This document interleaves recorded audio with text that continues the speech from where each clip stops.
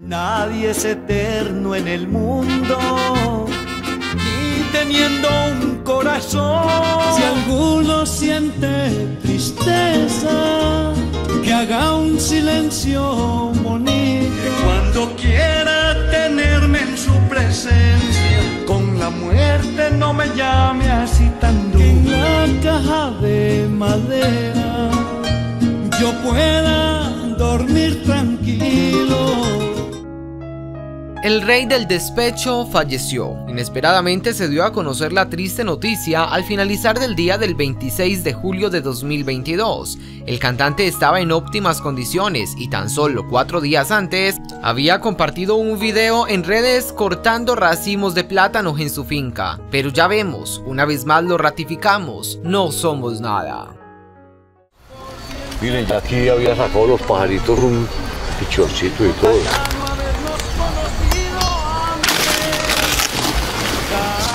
Bueno, Andrés, ahí lo encargo de lo demás. Sí, señor.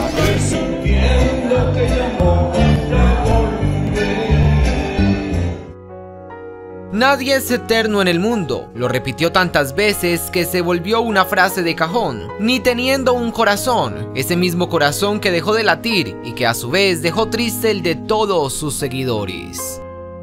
No me lloren que nadie es eterno, nadie vuelve del sueño. Si quieres conocer más acerca de la vida y muerte del cantante de música popular más importante de los últimos tiempos, quédate, que en Mundo Fara te lo contamos todo. Hasta darle el postre la botella. Por supuesto, la pena es soldar. Ay, ya le aterra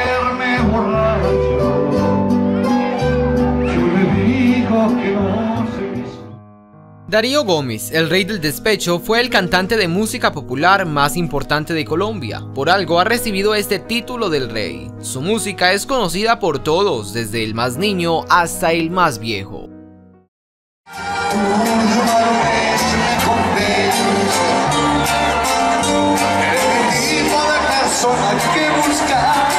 Le empezó a cantar al despecho gracias a la terminación de su primera relación amorosa. El haberse separado a 7 años de matrimonio fue el peor momento de su vida y es gracias a ella que le canta al desamor.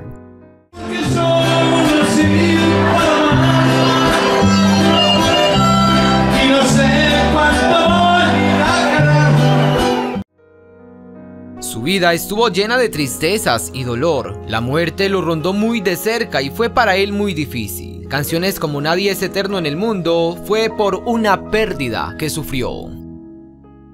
Nadie es eterno en el mundo, ni teniendo un corazón. Darío de Jesús Gómez Zapata nació el 6 de febrero de 1951 en una vereda perteneciente al corregimiento de San Jerónimo de Antioquia. Nació en el seno de una hermosa familia constituida por papá, mamá e hijos, una familia amorosa, calurosa, pobre económicamente hablando, pero con mucha felicidad. A los 7 años de edad Darío ya laboraba en las cuestiones de la finca, día de por medio estudiaba para trabajar en los días libres de colegio. No estudió sino hasta quinto de primaria por la situación económica y además en aquella época no era tan importante estudiar, según los mayores, con que supieran leer y escribir era suficiente. Recuerda con gran emoción esas madrugadas en las que sus padres, especialmente su mamá, lo despertaban cantando esas canciones antiguas, cuando la guitarra era la reina de la musicalidad. Él se dejó influenciar por eso también, pues de esta forma es que llegó al lugar en el que hoy está. Me enamoré y el destino me engañó. Lamentablemente esa paz que se vivía en el hogar de Darío se vio afectada cuando su padre fijó sus ojos en una mujer que no era la suya y terminó enredado con ella. Esta mujer, según cuenta Darío y sus hermanos, le dio un brebaje a su padre que contenía brujería pura Muchos se abstienen de creer en estas cosas, pero existen por más que lo neguemos. A mi papá lo enyerbaron, dice el rey del despecho, quien además asegura que desde que esto sucedió, nunca más volvió a existir la tranquilidad dentro de su casa. Su padre tenía alucinaciones en las que veía a su esposa, una mujer íntegra, engañándolo supuestamente. Se volvió agresivo tanto con sus hijos como con su señora, al punto de irse a los golpes contra ellos, cosa que nunca se había visto en su casa. Orlando, el hermano mayor de ellos, se fue, no soportó esta situación. Quedaron entonces Elba, Edilberto, William y Darío. Me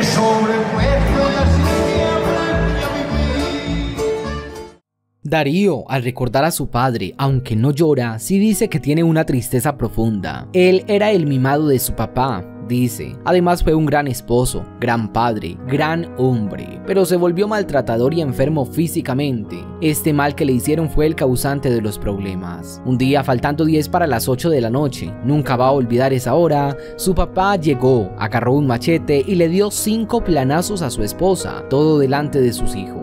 Además un puño en su tabique que la tumbó y dejó derramando sangre. Cuando la vio en el suelo fue y cargó la escopeta para matarla, y Darío, como en una película, se lanzó encima de su padre, le quitó el arma y con el cañón hacia atrás salió corriendo. Él sin querer apretó la uña de la escopeta y el disparo impactó en su papá, quitándole la vida.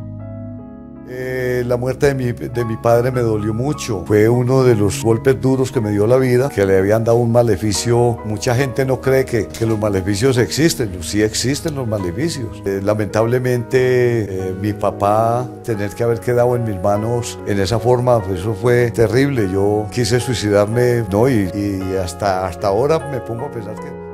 Israel, un hermano del padre de Darío, le amenazó de muerte por haber matado a su hermano, pero fue sin culpa. Darío Gómez tuvo que irse para Medellín en donde la vida le abriría puertas grandes. Allí empezó trabajando en una empresa que acabó hace muchos años. La música ya le gustaba y componía canciones decembrinas con un doble sentido fuerte. A los 17 años llegó a Medellín y se conoce a sus 18 con su primer amor y la que le inspiró el despecho en sus canciones. A los 19 años se casó con ella, Marta Nubia. Con ella tuvo tres hijos, pero el día de su boda ocurrió algo terrible. En medio de la celebración, dos borrachos se agarraron a pelear y el uno mató al otro. Una vez más, la muerte estaba cerca de Darío. Esto le saló el matrimonio, dice él. En medio de los siete años que convivieron, él graba su primer disco en 1976 que era música parrandera y con chistes verdes. Ella lo humilló, le dijo que si es que él creía que era artista. Finalmente se separaron y él dice que tiene mucho que agradecerle a Marta Nubia, pues si no hubiera sido por ella, él no le hubiera cantado nunca el desamor y quizá no sería el rey del despecho. Ojalá que la vida nos alcance para cantarla. En el año 1978, precisamente el 31 de octubre, día en que su hermana Rosángela cumplía 33 años, su hermana preferida, como su segunda madre, muere dejando siete hijos huérfanos. Rosángela era una mujer muy devota de la iglesia católica y muy creyente en Dios. Falleció de un derrame cerebral que le dependió de su tristeza y preocupación porque el mundo se iba a acabar. Esto después de escuchar la noticia que habían asesinado al Papa Juan Pablo I, quien fue encontrado muerto en su cama poco antes de amanecer del 29 de septiembre de 1978, 33 días después de su elección. Según las fuentes oficiales, el Papa de 65 años murió de un infarto. En honor a ella, él compuso la canción Ángel Perdido. No es que haya superado ni la muerte de mi papá, eh, que fue tan accidentalmente, ni la muerte de mi hermana Rosángela, eh, mi hermanita Ángela, ni mucho menos he superado todavía esa, eh, la muerte de mi hija Lutari, que fue asesinada entre guerras y pandillas en Medellín hace 14 años. En 1979, y sin resurgir en la música, él se iba de pueblo en pueblo promocionándola, y poco a poco se labró su propia carrera, que hoy está en la cumbre del éxito. Luego se volvió a enamorar de Olga Lucía, con quien tuvo otros tres hijos. En el año 2002 pasa por uno de los momentos más difíciles de su vida. Su hija Luz Dari Gómez Pineda es asesinada por una bala perdida en medio de una guerra entre pandillas y deja a Daniela, su hija, huérfana. Pero esto no es todo. La niña ya había quedado huérfana de padre también, quien murió precisamente en un asesinato. De ahí surge su canción Daniela, una de las más queridas por el público. Una vez más, vemos que la muerte cerca a los seres queridos de Darío. Soy tu abuelo materno y como si fuera poco la canción Nadie es eterno en el mundo también tiene un triste pasado. Él fue con un amigo suyo, Luis Ernesto Gallego, a ver un cementerio que estaba en desuso y que le habían dado a la comunidad para que hiciera casas sobre este. Ese día, al ver los escombros de las bóvedas, cruces y ornamentos tirados a un lado y cadáveres al otro lado, Darío Gómez le dijo a su amigo, es que nada es eterno en el mundo. Y Luis le dijo, usted que es compositor, ¿por qué no hace una canción que titule así? Darío le contestó que sí, que la haría. Pasaron tres meses y su amigo falleció también. Esa semana, en un sueño, Luis Ernesto se le apareció. Gómez cuenta que fue algo muy extraño porque se veían en el mismo campo santo que habían estado tres meses antes. Y su amigo le dijo, si la vas a hacer, él despierta en ese momento. Lo había olvidado por completo. Inmediatamente empieza a escribirla y es su himno, la canción más famosa de su repertorio.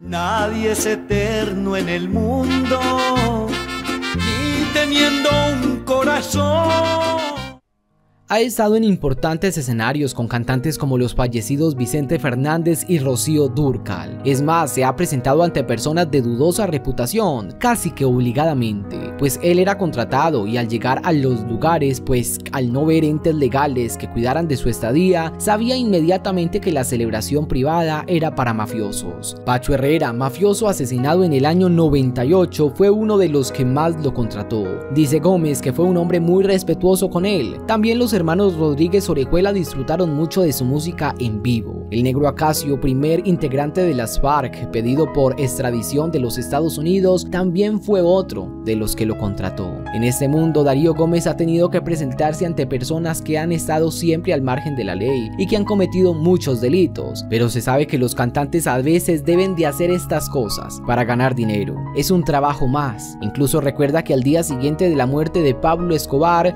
Pacho Herrera lo contrató para que hicieran una fiesta de celebración. Tuvo que cantar 10 veces Nadie es eterno en el mundo y luego otras canciones. Me diste el corazón y me lo diste herido, otro amor te engañó y tú engañaste el mío, porque eres tan tirana con el que sabe amarte, debías de matarme para ya olvidarte. Así fue el paso de Darío Gómez por este mundo, lleno de tristezas, pérdidas y desamores, pero también con muchas alegrías y triunfos. El rey del despecho se caracterizó por su gran sonrisa y carisma en todo momento, más cuando estaba subido en un escenario disfrutando con su público.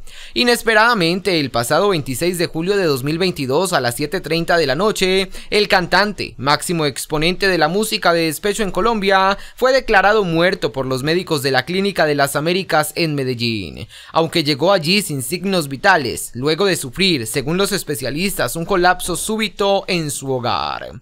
Si hay algo de lo que estamos seguros es que su música no pasará de moda pronto, seguirá siendo escuchada por generaciones, fortaleza para la familia y paz en su tumba.